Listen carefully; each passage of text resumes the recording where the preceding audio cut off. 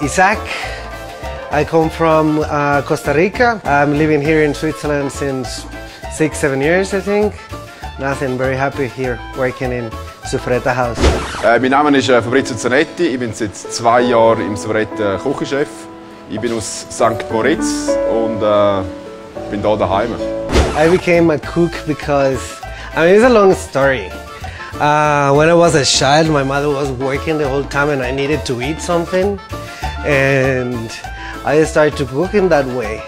Uh, also, in the place where I used to live in Costa Rica, I have uh, this little place, the name is Soda, with my mother's cousins. And I started to cook with her the whole time and we prepare chicken and a few things. I don't know, it was really funny. Uh, but at the beginning it was kind of necessity, man. It was like I needed to uh, eat something and I have to cook. And I loved it since then. I mean, I never stopped.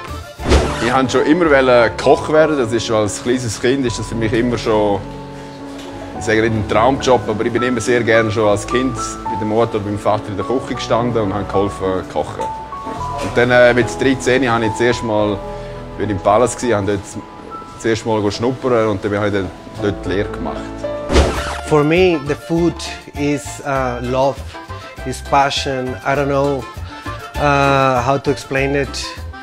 Uh, I love to see a kid eating my food or my guests when they try one of my ceviches, one of my tacos, one of the things that we give here, uh, one of the things in the menu in general.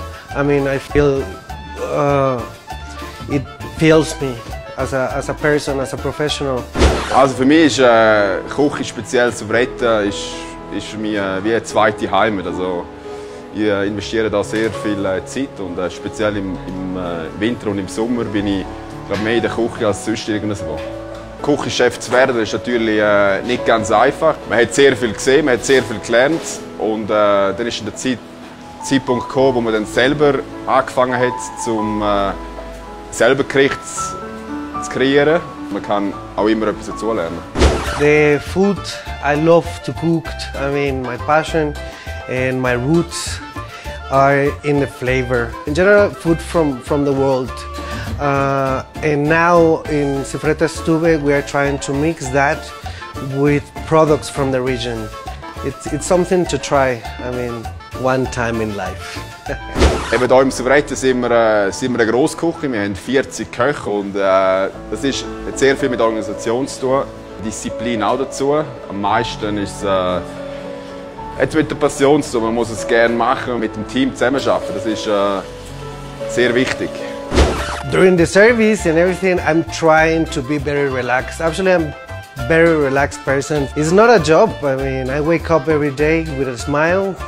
They are there, my coworkers. They know it's true. Uh, we have fun, we play, we have joy. Eben, wie gesagt, es passieren immer außergewöhnliche Sachen in der Küche, aber ich finde es immer schön, wenn wir äh, auch für Hunde kochen Und wenn sie Geburtstag haben, wird das auch im Suvretta immer schön zelebriert.